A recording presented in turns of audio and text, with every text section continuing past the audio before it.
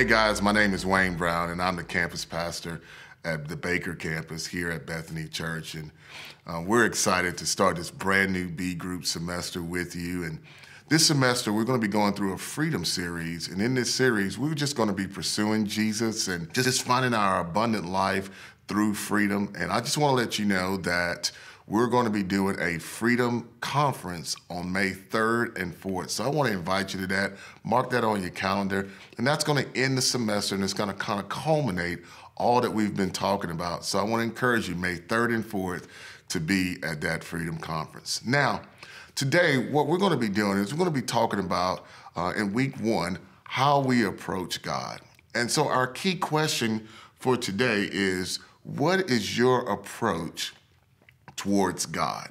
You know, I think oftentimes people have a lot of viewpoints and things about God. I, if I was to do a poll on the street and ask people, what is your approach towards God? They'd probably give me a bunch of different answers. I think about when I was young uh, and what my viewpoint about God was. I remember being young and I grew up in church. And so um, my mom and dad would bring me to church a lot. I remember one time my grandmother took me to San Antonio and we went to church. And during that time, in a one week span, we went to 15 services and um, Monday through Friday. So we went to church in the morning, church at lunch, church at night. And I remember being a 10 year old kid thinking, if this is what it takes to be saved, I don't know if I want to be saved. I mean, it, it was just a lot. And so, really, I started to associate myself and associate God with church. But this is what I believe about Christianity. Christianity is something that should be enjoyed, not just endured. And uh, I think oftentimes people think Christianity is not an enjoyable thing, but it is. But it really comes down to what your approach is towards God. You know, I, I, I want to just go through a couple different things and think about some of the stories that we all have. You know, all of us have three stories. And those three stories are just like it was at the beginning in Genesis. First of all, in Genesis, we saw that Adam and Eve were created. And all of us, we were created, we were born, right? The second story that we all have is that we all have choices. And you know what? Each one of us have a choice. They were given a choice. The choice to choose the tree of life or choose the tree of the knowledge of good and evil. And then thirdly, we all have been tempted by the enemy. They were tempted by the enemy in the garden, and every one of us, if you live long enough, you're going to be tempted by the enemy. And so we all have that. Now, I want to focus in on that second one, that second story about the choices that we have. You know, in Genesis chapter 2, verse 8 and 9, it says this It says, Then the Lord God planted a garden in Eden in the east, and there he placed the man he had made. The Lord made all sorts of trees grow up from the ground, trees that were beautiful and that produced delicious fruit. In the middle of the garden, he placed the tree of life and the tree of the knowledge of good and evil. Two trees that he placed in the garden the tree of life and the tree of the knowledge of good and evil. Now, what do those two trees represent? Well, first of all, the tree of life represents transformation and really transformation through the heart. And, and God put those um, two trees in the garden. And really, when you think about that transformation, that's the tree that we should choose from. Now, the, the tree of the knowledge of good and evil represents learned behavior. And I think oftentimes that's the tree that people choose when it, when it comes to Christianity or, or their approach towards God. It's what they've been taught or what they've learned or what they think God is. And so we're going to talk about that, those choices. What does that look like? So, the first way, there's three choices that we have. The first way, and this is in your book here, and you can follow along. The first choices that we have is the tree of knowledge of good and evil says, do more to get to God. Do more to get to God. You know, this is where people see God as a performance based God. They think that you have to do a lot to make God happy. And uh, you know, I think about the Wizard of Oz. He wanted Dorothy to dance, and he thought, and that's where a lot of people see God. Or I think about a coach who and a, and a player, and a player thinks if I can just work hard and hustle real good, I'll impress my coach. And really, that's not how God is. God is from the tree of life, which represents that Jesus has already done it. That's the way we should approach God. That Jesus has already done it. And everything that we need has already done been done with God. I think that's super important. Everything that we need. You know, I think enough times people think, you know, if I could just read enough scripture, if I can just pray for an hour, then I'll, I'll God will be happy with me. But I just want to read a scripture out of John chapter 5, verse 39. It says, You study the scriptures diligently because you think that in them you have eternal life. These are the very scriptures that testify about me, yet you refuse to come to me to have life. And you know, the, the, the, Pharisees thought, if I can just do a lot, then, then God will be happy. But God has already, it's already been done, and you should choose the tree of life. The second tree that, um, the second choice that we should have is the tree of knowledge of good and evil says, keep trying to get God's approval. And you know, this is where we start to try to earn favor with God because we think that God is mad at us all the time. And a lot of times people really do think that God sits on this throne and he's got this bat and he's just bopping people over the head when they do wrong. And so they have to feel like they have to earn God's approval. And it's not like that. But the knowledge, the tree of the knowledge of good and evil will say that. But the tree of life says, receive the fact that God already loves you. And look, this is powerful. God already loves you. And oftentimes people think, I have to get right with God for God to start to love me. But can I just tell you something? God loved you even while you were still a sinner. And oftentimes that's the reason why people don't come to God is because they think, you know, I just got to get right. But look, there's nothing you can do to get right. God loves you so much that even while you were wrong, God loved you. And I love what it says in Romans chapter 5. But God demonstrates in his own love for us this while we were still sinners, Christ died for us. Look, God loved you and he sent Jesus to the cross even while you were still a sinner. So accept the tree of life.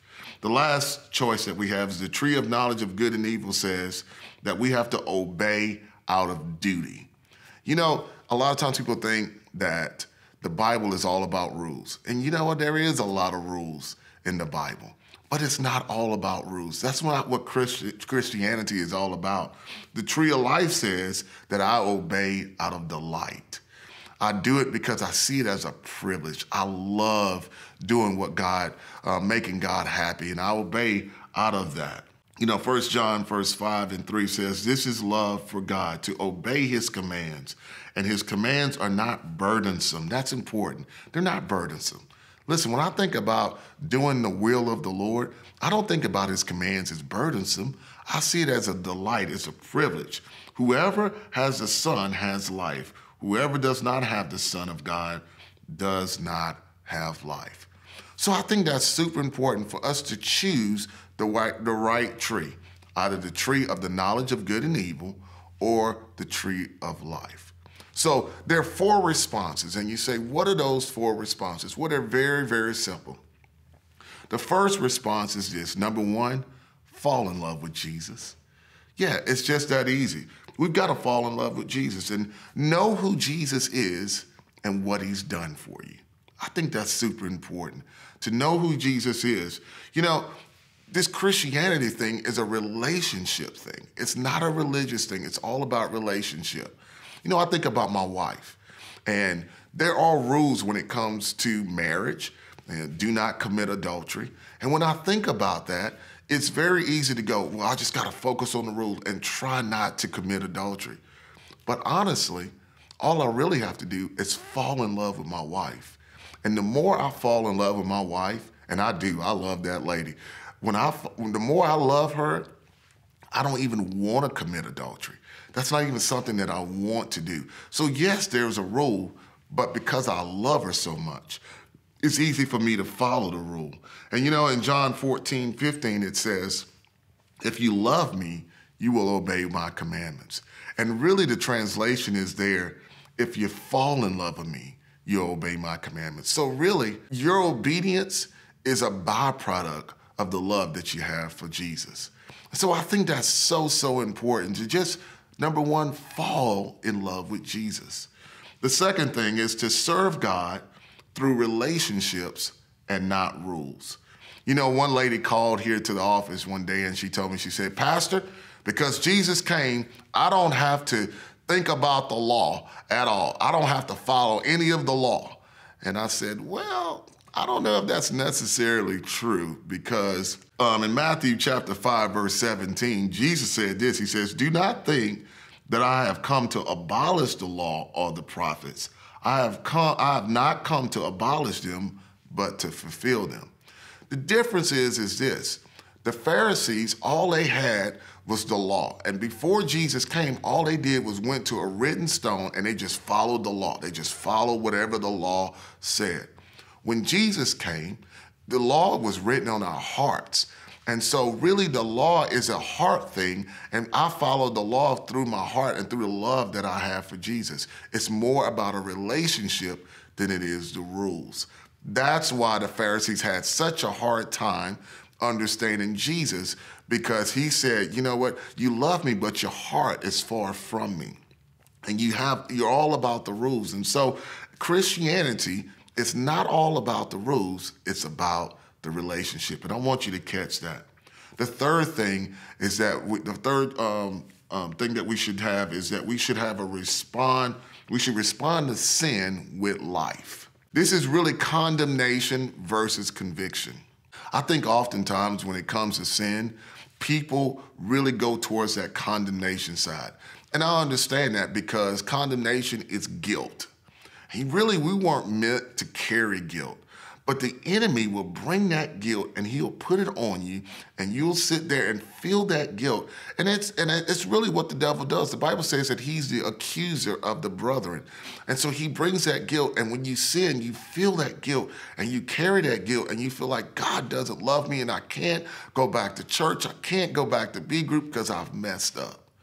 Listen, there's a difference between condemnation and conviction. Conviction says, yes, I messed up but I'm on the right track to get it right. That is where we should be. We should allow the conviction of the Holy Spirit to touch our hearts, to get us moving in the right place, and get rid of condemnation. You know, the Bible says in Romans chapter 8, one of my very favorite verses, therefore, there are no condemnation. There is now no condemnation for those who are in Christ Jesus. And so I don't know who's listening to me today, but I want to encourage you with something. Lose the condemnation. Let it go. God loves you and allow the conviction of the Holy Spirit to change you, but know that God still loves you and you don't have to carry that condemnation with you. Finally, the third thing is this is to guard your heart from not going back. Guard your heart from not going back. You know, I, if you're like me, you probably got saved about four or five times before you really got it right.